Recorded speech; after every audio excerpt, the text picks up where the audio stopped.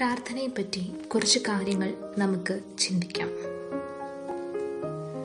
പ്രാർത്ഥന എന്നാൽ എന്താണ്? നാമും ദൈവവുമായുള്ള സംഭാഷണത്തെയാണ് പ്രാർത്ഥന എന്ന് പറയുന്നത്. ഒരു വിശ്വാസിയുടെ ജീവിതത്തിൽ ഏറ്റവും പ്രധാനപ്പെട്ടതായി വേണ്ട ഒന്നാണ് പ്രാർത്ഥനാശീലം. പ്രാർത്ഥനയിലൂടെ നമ്മൾ ദൈവത്തോട് സംസാരിക്കുന്നു. ദൈവത്തോട് നമ്മുടെ ആവശ്യങ്ങൾ അറിയിക്കുന്നു. ദൈവത്തിന് നന്ദി കരയിട്ടുന്നു ദിവസവും മൂന്ന് നേരം പ്രാർത്ഥിച്ചിരുന്ന ദാനിയേൽ നിന്ദിക്കപ്പെട്ട അവസ്ഥയിൽ ദൈവത്തോട് കരഞ്ഞു പ്രാർത്ഥിച്ച ഹന്ന ഏലിയാവ് തുടങ്ങിയവരുടെ പ്രാർത്ഥനാ രീതികൾ നമ്മുടെ ജീവിതത്തിലും പ്രാവർത്തികമാക്കാവുന്നതാണ്. നമ്മുടെ പ്രാർത്ഥനയിൽ എന്തെല്ലാം കാര്യങ്ങൾ ഉണ്ടായിരിക്കണം? ഒന്നാമതായി മാനസാന്തരം. നമ്മുടെ പ്രാർത്ഥനയിൽ പ്രധാനമായി വേണ്ട ഒന്നാണ് മാനസാന്തരം. നാം പ്രാർത്ഥിക്കുമ്പോൾ നമ്മുടെ തെറ്റുകളെപ്പറ്റി ഉത്തമ ബോധം നമുക്ക് ഉണ്ടായിരിക്കണം. രണ്ട് ഏറ്റുപറച്ചിൽ. പ്രാർത്ഥിക്കുമ്പോൾ നാം ചെയ്തു പോയ പാപങ്ങൾ ദൈവസന്നദ്ധിയിൽ ഏറ്റുപറയുക. മൂന്നാമതായി താഴ്മ. നമ്മൾ തന്നെത്താൻ താഴ്ത്തി വേണം ദൈവത്തോട് പ്രാർത്ഥിക്കേണ്ടത്. നാല് കരച്ചിൽ.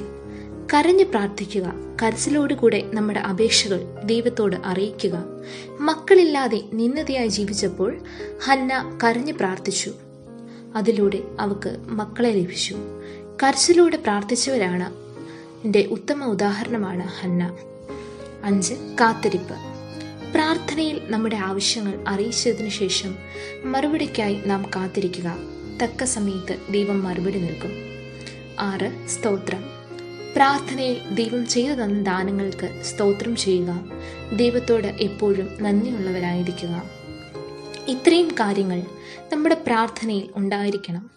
പ്രാർത്ഥനാ രീതികൾ പലതരത്തിലാകാം. മുട്ടുകുത്തി പ്രാർത്ഥിക്കാം. മുഴങ്കാൽ കുത്തിയിരുന്ന് കൈകൾ ആകാശത്തേക്ക് മലർത്തിക്കൊണ്ട് പ്രാർത്ഥിക്കാം.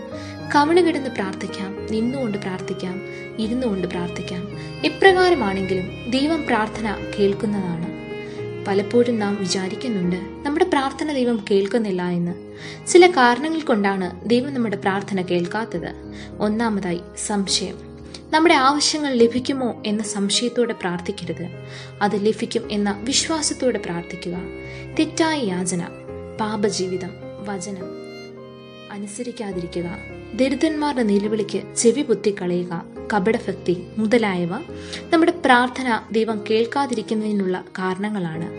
വിശുദ്ധ മത്തായി എഴുതിയ സുവിശേഷം ആറാം അധ്യായം അഞ്ചു മുതൽ പതിമൂന്ന് വരെയുള്ള ഭാഗങ്ങൾ പറയുന്നത് പോലെ മറ്റുള്ളവർ കാണുവാൻ വേണ്ടി നാം പ്രാർത്ഥിക്കരുത്. പ്രാർത്ഥനയിൽ ജൽപ്പനം ചെയ്യരുത്. ജൽപ്പനം ചെയ്യരുത് എന്ന് പറഞ്ഞു ഭാഷണം അമിതമായ ഭാഷണം എന്നാണ്. ഏത് ചെറിയ പ്രാർത്ഥനയും ദൈവം കേൾക്കും? നമ്മെ പഠിപ്പിച്ച സ്വർഗസ്ഥനായ ഞങ്ങളുടെ പിതാവെ ഇന്ന് തുടങ്ങുന്ന പ്രാർത്ഥന ലഘുവായിരുന്നു. മത്തായുടെ സുവിശേഷം ആറിന്റെ ആറിൽ പറയുന്നു നീയോ പ്രാർത്ഥിക്കുമ്പോൾ അറയിൽ കടന്ന് വാതിലടച്ച് രഹസ്യത്തിലുള്ള നിന്റെ പിതാവിനോട് പ്രാർത്ഥിക്കാം. രഹസ്യത്തിൽ കാണുന്ന നിന്റെ പിതാവ് നിനക്ക് പ്രതിഫലം തരും. എവിടെ നിന്ന് പ്രാർത്ഥിച്ചാലും ദൈവം നമ്മുടെ പ്രാർത്ഥന കേൾക്കും. നമ്മുടെ പള്ളിയിലോ വീട്ടിലോ നമ്മുടെ യാത്രയിലോ എവിടെ ആയിരുന്നാലും അവിടെ വെച്ച് നമുക്ക് ദൈവത്തോട് പ്രാർത്ഥിക്കുവാൻ കഴിയും. എങ്കിലും ഈ വാക്യത്തിൽ പറയുന്നത് പോലെ നിത്യജീവിതത്തിൽ ഏകാഗ്രതയോടെ ദൈവത്തോട് പ്രാർത്ഥിക്കുവാൻ ഒരു സമയം നമുക്കുണ്ടായിരിക്കണം. മറ്റു തടസ്സങ്ങൾ ഒന്നുമില്ലാതെ വാതിലടച്ച് ഏകാഗ്രതയോടെ ദൈവത്തിന്റെ സന്നിധിയിൽ അറിഞ്ഞു പ്രാർത്ഥിക്കുവാൻ നമുക്ക് കഴിയണം. രഹസ്യത്തിൽ കാണുന്ന നമ്മുടെ പിതാവായ ദൈവം നമുക്ക് പ്രതിഫലം തരും. അതുകൊണ്ട് ദിവസവും മൂന്ന് നേരം പ്രാർത്ഥിച്ചിരുന്ന ദാനിയലിനെ പോലെ തന്റെ വിഷമങ്ങൾ കണ്ണുനീരോടുകൂടെ ദൈവത്തോട് അറിയിച്ചിരുന്ന ഹന്നയെ പോലെ തന്റെ ജനത്തിന് വേണ്ടി പ്രാർത്ഥിച്ച ഏലിയാമിനെ പോലെ നമുക്കും പ്രാർത്ഥിക്കാം.